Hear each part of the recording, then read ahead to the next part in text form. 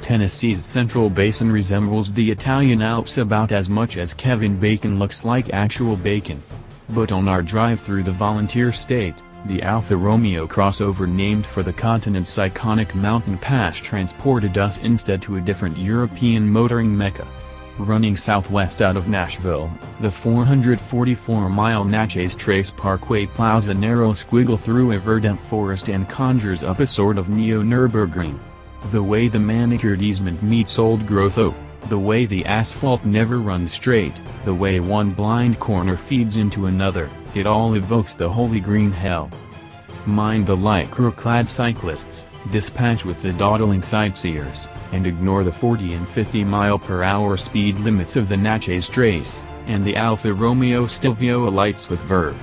It steers with a steady linear effort, the brake pedal responds obediently to slight pressure modulation, and in general Alfa's brake-by-wire system felt more natural and better sorted this time around than it has in Giulia sedans that we've driven. The Stelvio doesn't drive small, it's slightly longer than the Audi Q5, the BMW X3, and the Mercedes-Benz GLC class, but there is a precision to the controls that invites you to use more road, to corner closer to trees that crowd the driving line, and to drift nearer the drainage ditch at the pavement's edge. In this segment, only a Porsche Macan inspires more confidence. The Stelvio's dynamic virtues hold up when driven in more routine environs as well. This transmission is the rare automatic that doesn't race to upshift upon leaving a stoplight, even with the driving mode selector pointed at the default natural setting. Beyond the buttercream smooth parkway, both the 19 and 20-inch wheels calmly rolled over imperfections. Expand the brand. Alfa moved just 2,700 vehicles in America in the first five months of 2017. The brand's keepers hope to grow that number by moving beyond just building sporty vehicles for the enthusiast fringe, expanding into the greener field where the masses of buyers have clustered, compact crossovers, the Stelvio's measurements suggest tighter rear seat and cargo space than its competitors, although neither feels especially cramped. To keep Alfa's entry from being a Me-Too vehicle, the brand is applying technology in its own way. At Alfa Romeo, technology is more than a fancy radio and advanced driver assistance systems. Everybody has that, taunts Alfa boss Reid Bigland. The technology that Bigland boasts of, Every Stelvio carries a carbon fiber drive shaft and enough aluminum that the new Alfa should undercut the BMW X3 by almost 100 pounds.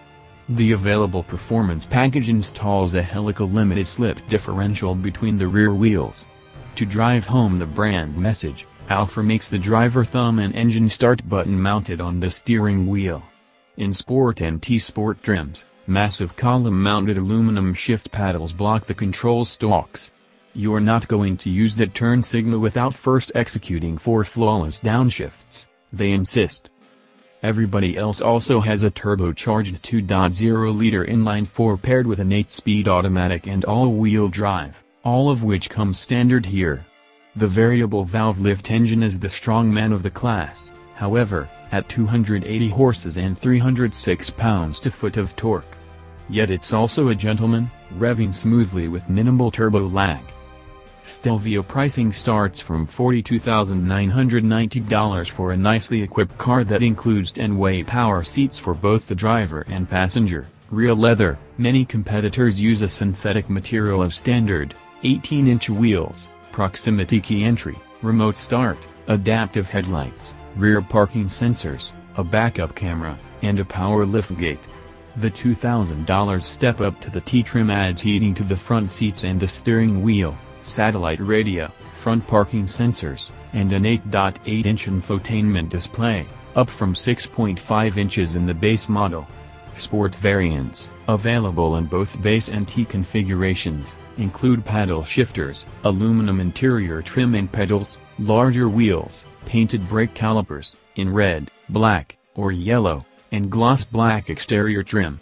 A couple of different driver assistance packages bring blind spot monitoring, auto-dimming exterior mirrors, adaptive cruise control, forward collision warning with automated emergency braking, lane departure warning, and automatic high beams.